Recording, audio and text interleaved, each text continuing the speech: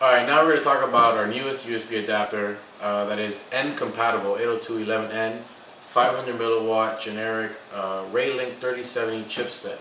It is compatible with all operating systems and is better for plug and play with uh, Windows 7 and Linux users. You're not going to need the drivers. For all other users, the drivers are included.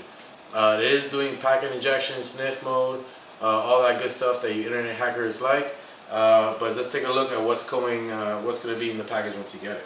So they come in a box just like this. You're going to open it up.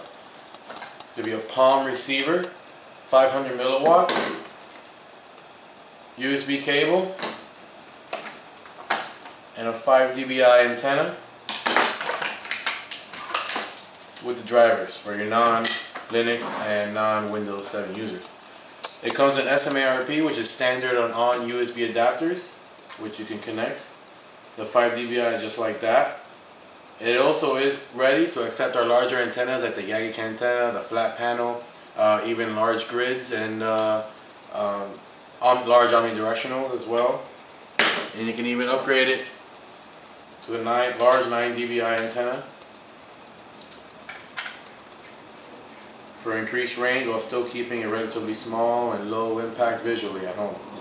So uh, if you have any other questions, feel free to contact us at support at simplewifi.com or call our tech line Monday through Friday and we'll be sure to help you. Thanks.